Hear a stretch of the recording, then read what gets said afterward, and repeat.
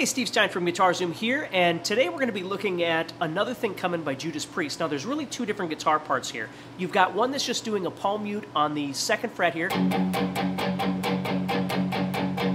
then you have another guitar that comes in doing some power chords. So we're going to go to this, the fourth string and make a fourth string power chord here. So we're playing two and four, and then we're going to move up to the fifth string, and then we're going to move up to the sixth string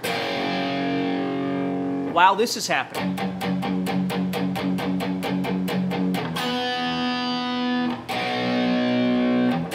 Then we have this crazy little thing right there. And what we're doing is playing an A power chord, then we're doing a hammer on 0 to 2 on the 6th string, and then we're going back to that A, drop down to the 2, and then go to the B power chord. That's kind of tough, but it takes a little while to get used to. So stay positive and keep practicing, okay?